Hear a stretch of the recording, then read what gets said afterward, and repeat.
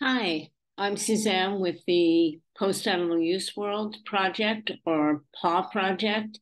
And I wanted to let you know about a wonderful holiday guide that my friend and colleague Anne of the Conversations with a Friendly Vegan has put together. It's visually beautiful, but more than that, it has some really wonderful ideas about how to navigate what can sometimes be tricky situations as we go into the holiday season as vegans and um, find ourselves in in settings where we want to be authentic and yet we want to be inclusive so I have gotten a lot out of it. I'm not new to vegan lifestyle, but I find that this is extremely helpful. And like I said, just beautiful to look at.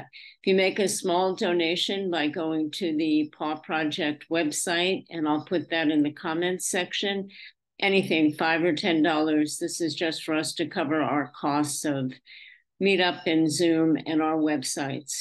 We wish you happy holidays, and we're excited about your interest in the work that we're doing. Thank you. Bye bye.